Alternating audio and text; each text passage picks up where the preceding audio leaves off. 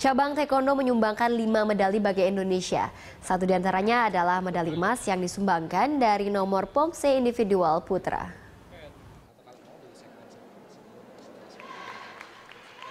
Tim Taekwondo Indonesia Sabtu siang berhasil menyumbangkan lima medali tambahan di ajang Islamic Solidarity Games. Dari lima medali yang diperoleh, satu medali merupakan medali emas yang disumbangkan dari nomor pomse individual putra. Taekwondo in Indonesia Maulana Haidir berhasil menyumbangkan medali emas setelah mengumpulkan poin tertinggi 7,85. Catatan poin Maulana berselisih tipis dari atlet Iran, Behesti Hossein, yang mengumpulkan 7,83 dan harus puas mendapatkan medali perak. Terkait keberhasilannya merebut medali emas, Maulana pun mengaku sangat senang. Apalagi ia harus berjuang ekstra keras di partai final melawan atlet Iran yang sejauh ini mendominasi cabang taekwondo. Alhamdulillah yang pertama pasti bersyukur dan pasti senang banget.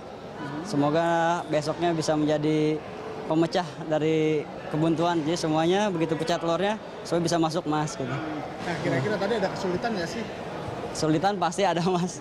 Cuman ya itu dia gimana caranya kita ngatur diri kita sendiri kan. Karena pemusah ini kan beda sama yang sparring. Kita lawan diri sendiri, itu yang paling terberat, bukan lawan orang lain. Gitu. Nah kira-kira Keberhasilan Indonesia di nomor Pomse Putra sayangnya gagal diikuti di nomor Pomse Bergu Putri, Pomse Bergu Putra, dan Pomse Individual Putri. Ketiga nomor yang juga memainkan partai final itu hanya menghasilkan medali perak bagi kontingen Indonesia.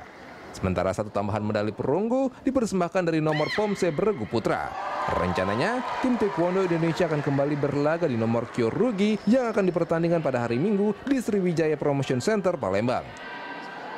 Fajri Nanggi, Abdullah Khairuddin, Rita 1, Palembang.